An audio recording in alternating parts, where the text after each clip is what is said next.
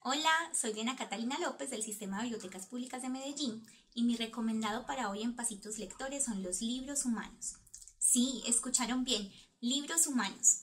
Es una iniciativa que se ha popularizado en el mundo, nació en Dinamarca y ahora se aplica en muchas bibliotecas y organizaciones de otros países. Y yo quiero invitarlos hoy a ustedes a que se sienten con esas personas que viven en casa y los escuchen, escuchen sus historias, escuchen todo lo que tienen para contarles. Las abuelas y los abuelos son unos libros con muchas páginas para leer. Y hoy los quiero dejar con algunas abuelas y abuelos que les quieren compartir sus refranes, trabalenguas y adivinanzas. Les voy a compartir unas adivinanzas de mi época. Un viejo cabicipelado, dale dale y el hay parado. ¿Sabes qué es? El pilón.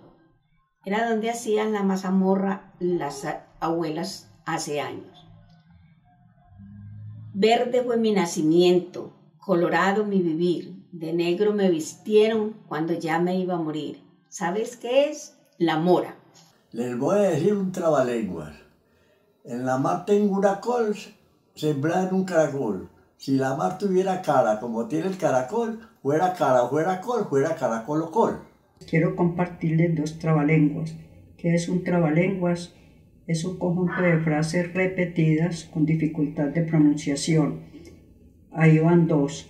María Chucena techaba su choza y un techador que por allí pasaba le dijo, María Chucena, ¿techas tu choza o techas la ajena? No techo la mía ni techo la ajena, techo la choza de María Chucena. Ahí va el otro. El cielo está enladrillado, ¿quién lo desenladrillará? ¿Quién lo desenladrillare o en desenladrillador será? Mi tío Toño me dio una caña con hoja y caña, cogollo y todo. Me dijo que lo sembrara del codo al puño, del puño al codo, con hoja y caña, cogollo y todo. Voy a compartir con ustedes dos refranes. Barriga vacía no tiene alegría. Y el segundo, poco a poco se llega lejos.